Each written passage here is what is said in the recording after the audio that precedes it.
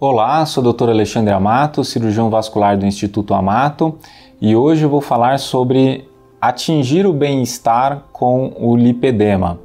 Então, pode parecer difícil para quem é, teve o diagnóstico de, de lipedema, não linfedema, a, o conceito de, de uma doença crônica que vai carregar para o resto da vida e que é uma doença que traz sintomas, então traz peso na perna, dor, cansaço, hematomas, equimoses, aquela deposição de gordura.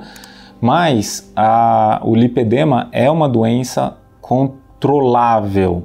Né? No seguinte aspecto, a gente pode falar de duas características principais do, do lipedema. A primeira é a deposição de gordura, que vai sempre aumentando é, com o decorrer da vida.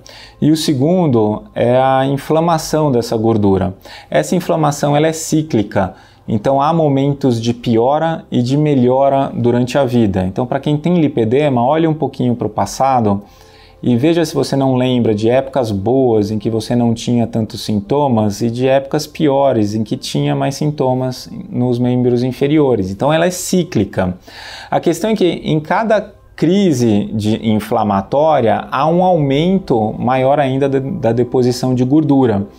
Então, essas são as duas características principais do, do lipedema. Para atingir o, o, o bem-estar no, no, no lipedema, é necessário, em primeiro lugar, tratar essa inflamação.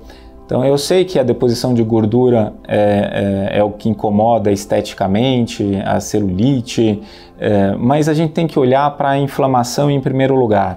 Então, se a gente trata essa inflamação e coloca numa, numa fase de calmaria, e aí a gente tem que entender quais são os gatilhos, quais são os fatores que fazem cada paciente sair dessa fase de calmaria e voltar a ter uma nova crise.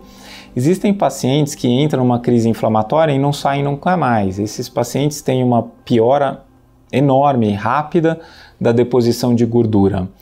É, agora, outros pacientes entram numa crise, saem, entram em outra e ficam sem entender o porquê que isso acontece. E aí é nosso trabalho entender, ajudar a, o paciente a entender o que, que na sua vida está uh, funcionando como um gatilho inflamatório. Muitas vezes pode ser alimentação, pode ser alguma medicação, pode ser algum hábito de vida, pode ser algum procedimento. Existem várias coisas que podem desencadear uma inflamação. Então, para atingir o bem-estar necessário, em primeiro lugar, tratar uma crise inflamatória, colocar numa, numa situação de calmaria, e em segundo lugar, o autoconhecimento. Esse autoconhecimento é essencial. Todo paciente tem que entender o que, que vai fazer mal para o seu corpo e o que, que não vai fazer mal.